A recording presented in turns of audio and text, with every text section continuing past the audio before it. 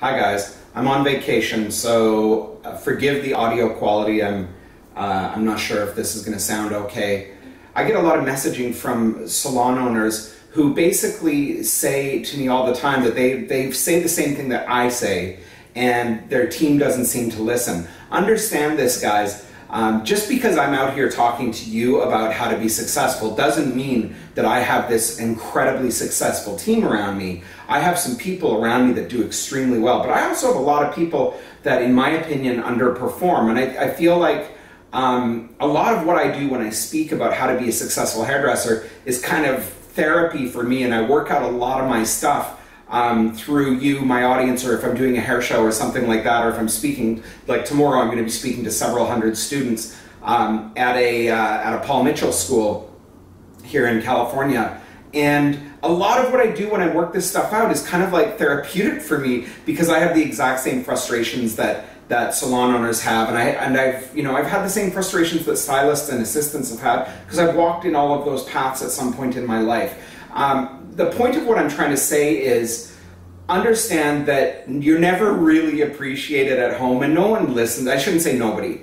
Most of your team isn't necessarily going to be listening to you at home. Anytime I walk in and I start talking about the stuff that I talk to you guys about, I'm sure half the room is rolling their eyes going, oh, here he goes again, talking that nonsense or, or that kind of stuff. Because the message has to generally has to be heard from somebody else. I just got an email from a very, very famous hairdresser who I look up to, who I would love to have to come into my salon and talk to my team. I just got a message from him that he wants me to come in and talk to his team.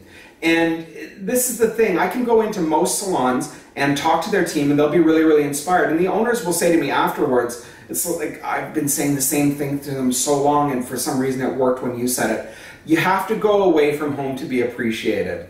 Uh, it, it's uh, what did Robert Cromeans say? A platform artist is just a hairdresser from out of town, right? If I do something in Vancouver, nobody cares, nobody listens, nobody shows up. But when I go away, all of a sudden I draw really, really, really well because uh, you know it's a fresh voice, and that's really what it's about. So owners, don't hesitate to bring people in to convey the exact same message that you convey. Very often, when I reach out to, or when I've booked an event through a salon, I will reach out to the owner and say, what is it that you really want me to touch on? Because I mean, we all have the same issues, we all have the same concerns as salon owners, but I want to talk to them and say, what message is it that you're trying to convey to your team that you feel you're struggling with? Because then I will try to hit that same message because it's really helpful. And, and I'm the same way. If, if I'm bringing somebody into my salon, I want them to to pass on a similar message to me. And let's face it, here's what the messages are that we all want as salon owners. Salon owners. This this is what we all want our team to do. We want them to show up rested early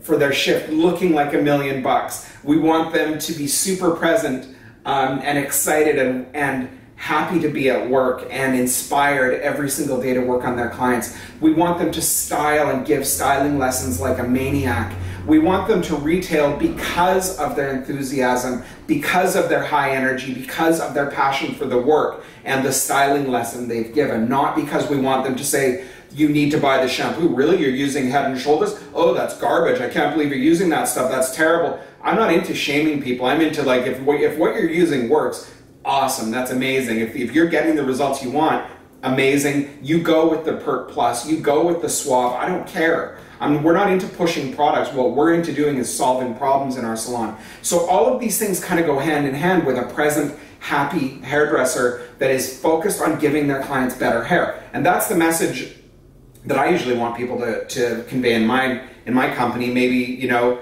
to understand that the grass isn't greener. That's a that's a really really big one. The grass isn't greener, guys. Um, I love this saying: the grass isn't greener on the other side of the fence. It's greener where you water it, and that is so true. I'll tell you this. This is a this is a fact, and I've seen it from people who have left my company. The second people leave my salon to go work somewhere else, the first thing they do is start doing all the stuff that I told them to do all through their employment that they weren't doing. All of a sudden, they're like, "Oh shit." Now I gotta work, now I gotta do all that stuff. And they start doing the exact same stuff that I've been telling them to do. And if they had just done it when working for me, they could have given themselves a 30% raise within a year, guaranteed. And then they would have been like, oh, all of a sudden I'm making money. I just heard the craziest thing from an employee the other day that I've ever heard that I've heard in years. And it was a seven, an average $7,000 a month employee that was saying to me she couldn't figure out how she could make more money.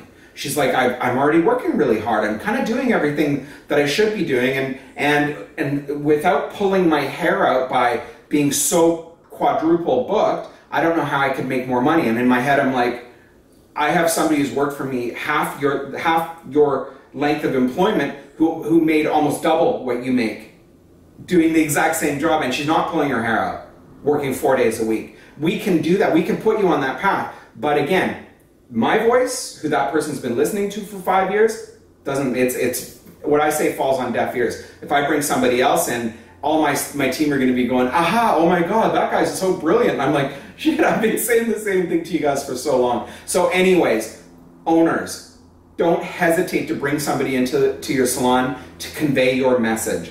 Um, it, people need to hear things several times from different sources in order for the message to get through. And don't be offended if all of a sudden what somebody else says connects when you've been saying the exact same thing because we all say the exact same thing. We all want the same thing. We want our employees to do really, really well and then it trickles back to us. That's simply all it is. And hairdressers, for God's sakes, listen to your employers. Your employers are not trying to do anything but help you make more money and be happy in your life because that's what we want is long-term employees who are making an incredible living, who are happy. That's what we want for you because it'll come back to us once that happens for you. So that's our priority is to make you that person. So don't think we're out to like, you know, beat you over the head with the retail stick or, or that kind of stuff. This is all for your benefit. Some owners perhaps don't have the best approach.